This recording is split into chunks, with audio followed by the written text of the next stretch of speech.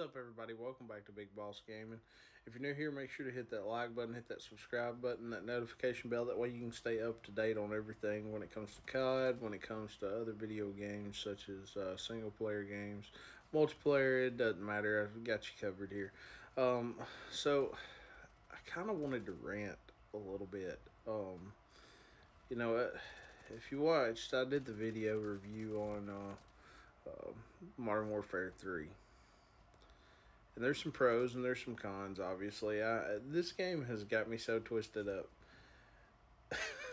so, oh man, where do I start? So,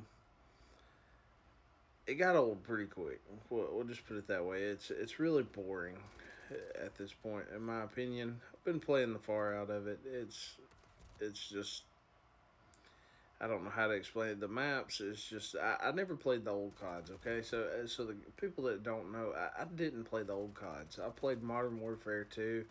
Uh, back in December was the first time that I'd ever played it of uh, 2022. That's the first time I've ever played a Call of Duty franchise game. Um, so I, I didn't have the experience the others. Um, and the reason I say that is these are supposedly old maps, which I enjoyed them a little bit, and now it's just it's it's gotten old. But now I will say this: I'm not a huge multiplayer fan. I, I really enjoy Warzone, Resurgence, uh, things of that nature. Uh, Plunder, I'll play it all. It don't matter. Put me on a big map, small map. It don't matter as long as it's BR type. Uh, you know, gameplay.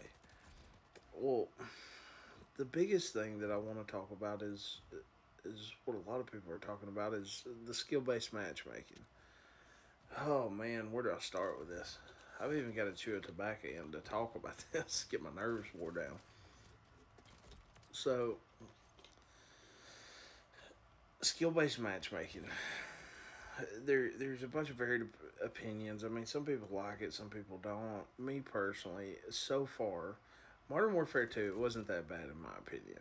Um, it just wasn't. I, I never reverse boosted or, or did any of that mess. I just played the game as it was. Never had an issue with it. Um, the only issues that I really, really struggled from was um, a lot of ping issues, server issues, you know, just the typical stuff you hear people talk about. That shouldn't be in this video game to begin with, since it's a billion dollar company making this stuff, which is crazy to me. There's no reason I should have packet burst. There's no reason. There's no reason the server should, should just lose connection. But with the skill based matchmaking in Modern Warfare 3, you can feel it. You can feel it. And it, if I don't know how to explain it, it, it feels like something else is going on. And what I mean by that is, and you'll see like some in the gameplay, it's like, you know, three or four shots or, you know, it's killing the enemies which is normal because every shot you see on me, three or four, and I, am dead. Um, it starts out that way, and then it's like you start doing really good, and then it's taking like half a clip to drop these guys. And it's just it's ridiculous. I, I don't know what's going on. I, I don't know if it's a ping issue or or what. I mean, typically I get anywhere from you know, like a 13 to anywhere from a 13 millisecond all the way up to a 50 millisecond ping. Which, by the way, this is the biggest issue that I have with the skill based matchmaking that I can confirm. There is no reason to sacrifice ping just to put me in a higher skill level bracket lobby, okay? There is no way the fight could ever be fair you got to think if you're playing if you're let's just say you're a 1.0 KD player, okay? You're you're the average 1.0 KD player. And you're playing against other players that's anywhere from a 1 to a 2 KD.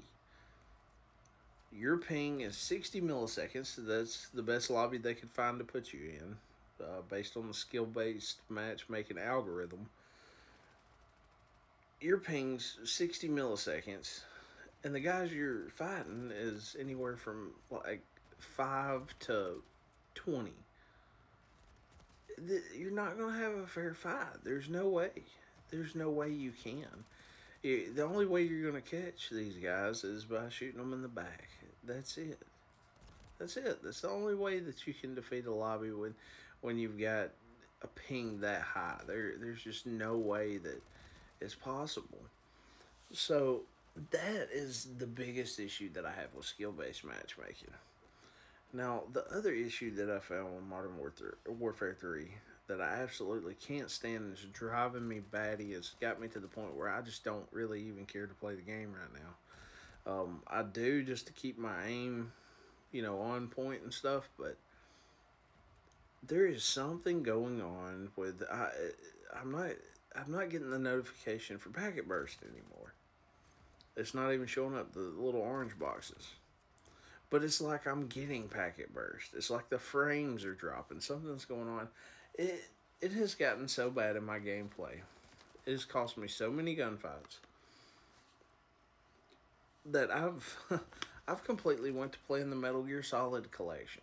I'm playing Metal Gear Solid 1 and then I'm enjoying it a lot more than this. I, I don't I don't understand how they missed the ball with this. Uh, they they have to know what's going on. There's no way they can't know what's going on because so many people are talking about it packet burst issues and the frames dropping and the inconsistency in the gunfights, the high pings, the skill-based matchmaking, especially sacrificing your ping, which is ridiculous. There's there's no way that that makes sense.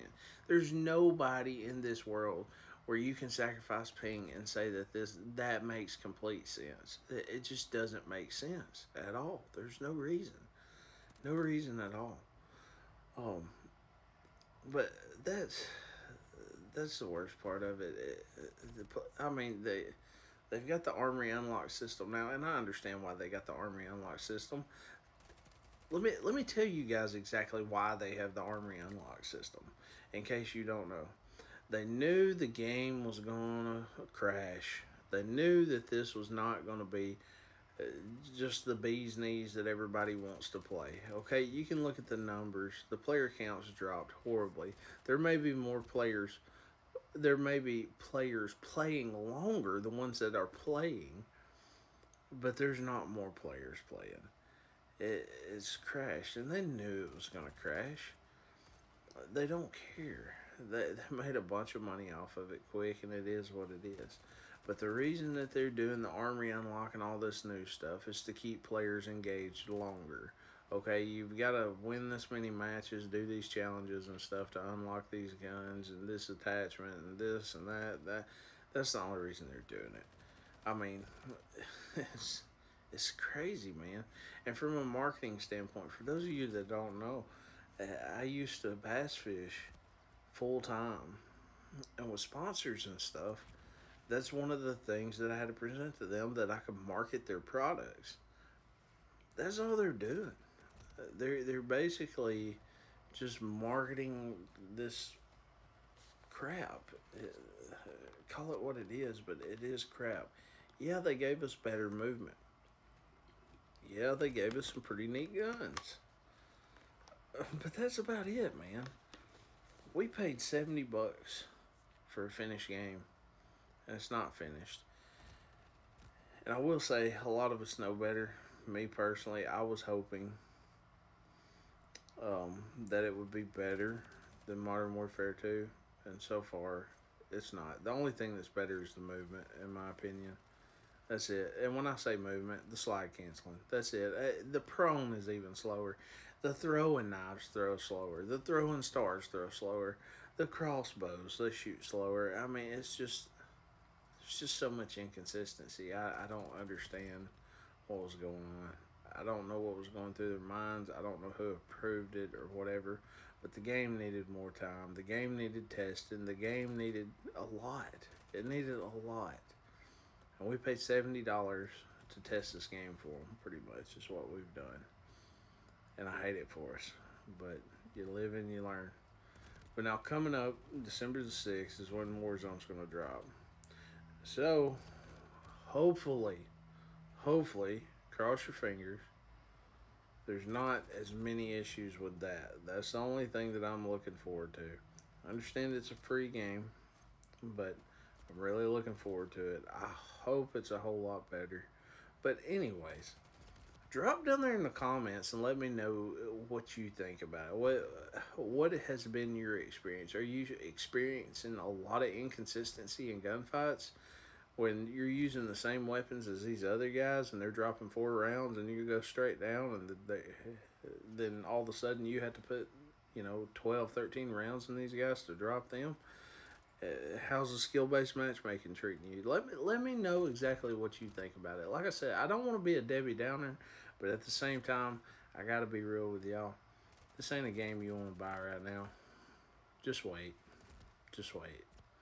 So, I appreciate it. I'll see you next time. Like I said, don't forget to subscribe. It would help me out a whole lot. Share the content. Appreciate it.